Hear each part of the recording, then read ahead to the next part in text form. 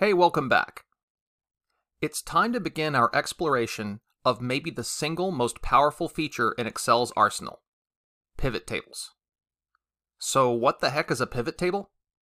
In short, it's a tool for rapidly summarizing and analyzing data, with no formulas required. Pivot tables especially shine when it comes to quickly gleaning insights from large data sets, those with far more distinct records or data points than we could possibly reason about without some help from Excel's massive computer brain. But there's a kicker. Pivot tables are picky about how your data is structured. If you want to analyze a dataset with pivot tables, it must be organized in a tabular fashion. That is to say, with columns containing distinct types of data and column headers describing those columns. This is a small price to pay, though, and honestly, that's how you should be organizing your data 99% of the time anyway. Now, I could keep going on and on about how awesome pivot tables are, but they're really more of a show kind of feature versus a tell kind of feature. So let's go ahead and get some hands-on practice using pivot tables. So here we have our sample call center dataset that has a variety of statistics pertaining to calls received at a call center. It also contains a number of categorical or non-numeric fields that describe or categorize each data point in a certain way. For example, in column J, the employee name, which is the name of the employee who took the call, the site where that employee works, the manager of the employee, and the type of call that was taken.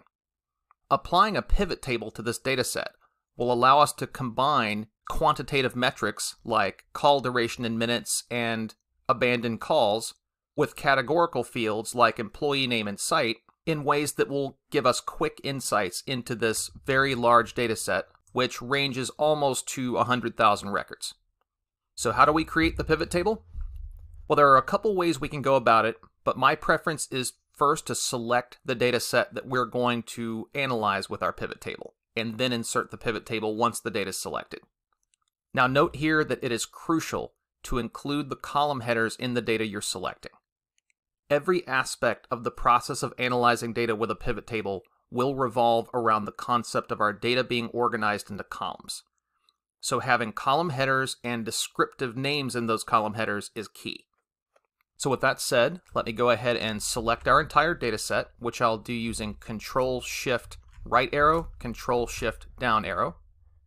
And now to insert the pivot table, I'll go to the Insert tab on the ribbon, and then click the Pivot Table button all the way over on the left. And now you see in this dialog box that Excel recognizes that we've already selected the range of cells that we want to analyze with the pivot table. And you can also see that using an external data source is an option, and that's something we'll look at a little bit later. Now, the second choice that Excel presents us with is where we want our pivot table report to be placed, in a new worksheet or the existing worksheet. Most of the time, you're going to want to place your pivot table in a brand new worksheet because the data you're analyzing is taking up so much space on the other worksheet, it really wouldn't make sense for you to try to put both in one place. So we'll leave the default of new worksheet and then click OK. And over here on the right, you see what we can think of as the command center for our pivot table. First, there's a list of all the fields in our data, which Excel was able to recognize because we organized our data into columns and named those columns with column headers. And then down below that list of fields, we see four empty squares, one for filters, one for columns, one for rows, and one for values.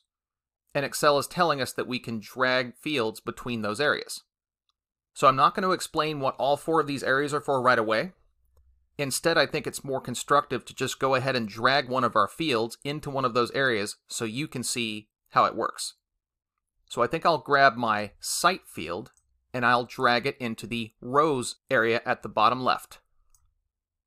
And now what we see is that a list of the unique values in our site column, which is to say our three sites, has been inserted into our blank worksheet.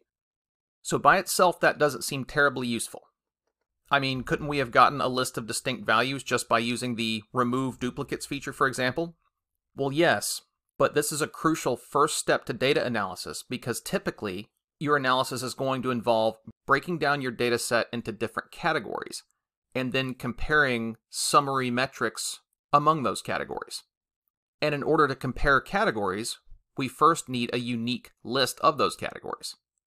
If we want to compare our three sites, we first have to have just those three sites listed side by side. So the key thing to remember is whenever you drag a field from our data into either the rows area or, and I'm getting ahead of myself here just slightly, the columns area, Excel will automatically display just the unique values from that column, no matter how many records the dataset has. So now is where we can actually begin our analysis. So let's say we want to know how many calls were taken at each of our sites. So what we'll do is drag, say, the call ID field into the values area. And keep in mind that by drag, I mean that I'm hovering over that field in the fields list, clicking and holding my mouse button, and then dragging down to that values area. So now I hope that you're getting the gist of how this works. Excel is attempting to apply a summary calculation of the values in our call ID field broken out by the unique values in the site field. The only problem here is the calculation Excel applied by default just doesn't make a lot of sense. If we go back to our raw data worksheet, we see that while call ID is a number, it's not really something that makes sense to try to aggregate statistically. Call IDs are just that. They're, they're unique identifiers. They're not meant to be summed or averaged. What we really want to do here is just count the call IDs so that no more weight is assigned to the 50,000th call ID than to the first. So let's go back to our pivot table and then click this arrow to the right of call ID in our values area.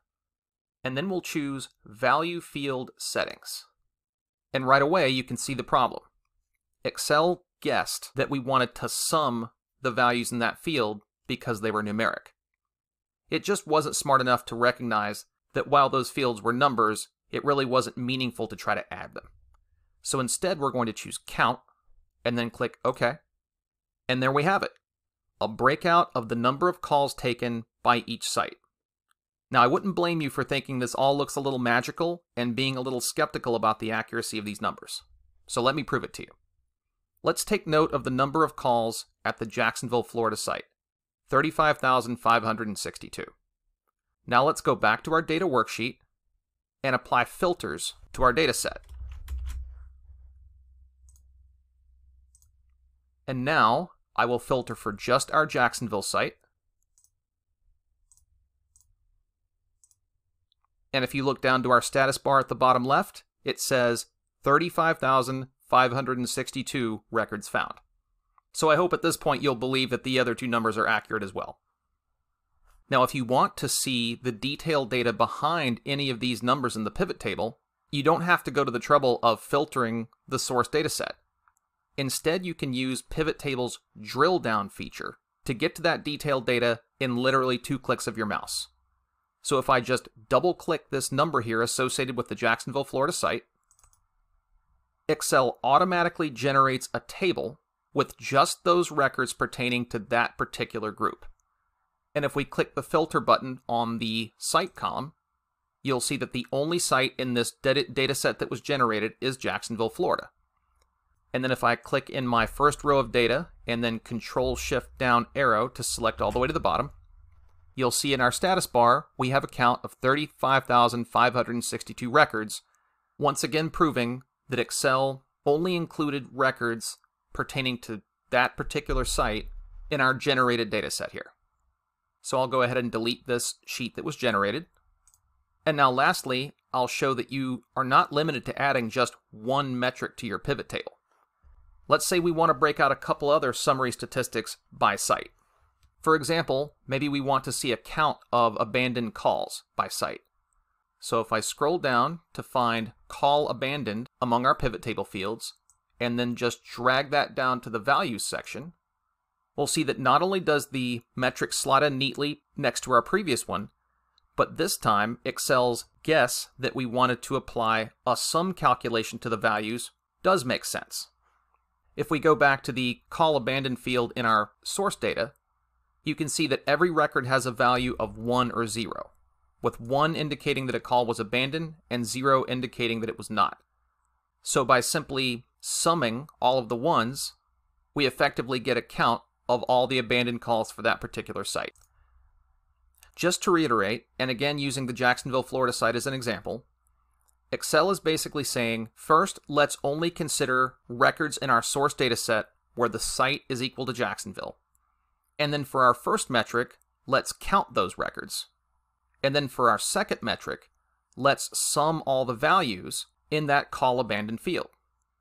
So if I were to again go back to my data set, and with a filter of Jacksonville, Florida already applied to my site column, if I then apply a filter of 1 to my call abandoned column, Excel tells me that 2,154 records were found. And if I navigate back to my pivot table, that's exactly the number we see for our sum of call abandoned metric. So while we're at it, I'll throw in one more metric, which I think will be call duration in minutes. Now in this case, a simple sum of all the minutes that all the agents at each of our sites spent on the phone isn't that interesting.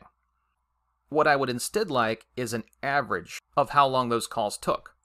So I again need to change the default calculation that Excel chose for this metric. So let me scroll down to the values section until I see our sum of call duration, and then click our little arrow, and then go to value field settings. And now I'll change the type of calculation applied to this field to average, and then click OK. And now we can see that the employees at our various sites are fairly consistent in terms of how long they take to finish a call. It's roughly 12 minutes per site. So before we go, let's just reiterate the basic structure for our pivot table here. Categorical data, typically non-numeric things like the names of call center sites or employee names, will usually go into the rows or columns area of our pivot table. Then, Numeric values to which we can apply statistical calculations typically go in our values section. And then those fields will be summarized statistically by the unique values in whatever columns we dragged into our rows or columns area. And then lastly, I'll point out that there's this weird pseudo column that has appeared in our columns area. So this values pseudo column basically just means that our summarized values are appearing as columns in our pivot table. The count of calls is in the first column, the average of call duration is in the second column, and the sum of abandoned calls is in the third column. Okay, so we've already done a lot with pivot tables, but there is so, so much more that we can do. We've really just scratched the surface. Up next, we'll look at how we can add even more layers to our pivot table analysis. I'll see you then.